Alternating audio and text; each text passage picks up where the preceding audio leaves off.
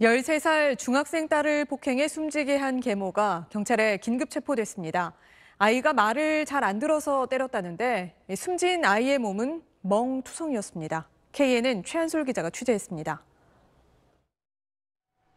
경남 남해군의 한 아파트 앞입니다. 구급차가 도착했고 소방대원이 다급히 내려옵니다. 뒤이어 누군가 축 늘어진 한 아이를 안고 구급차로 들어갑니다.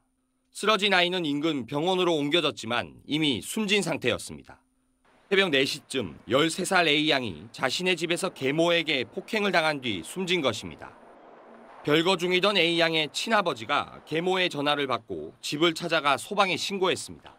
병원으로 옮겨진 A양은 당시 온몸이 멍자국이었습니다. 계모는 경찰 수사에서 아이를 밀치면서 발로 밟았다고 밝혔고 폭행 몇 시간 뒤부터 상태가 안 좋아졌다 말했습니다.